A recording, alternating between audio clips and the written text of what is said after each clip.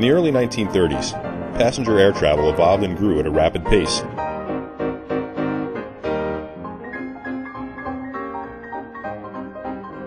So did the need for a reliable method for providing a precision approach path for reduced visibility landings. Designed in the 1930s, the Instrument Landing System, ILS, was designed to offer a single precision approach to a runway.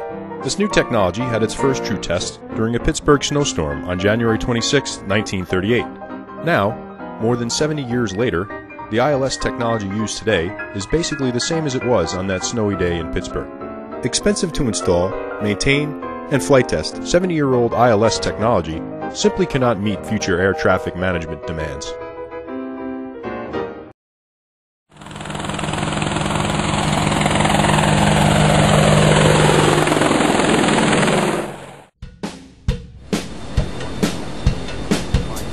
We join our crew at the initial approach fix, approach fix, approach fix.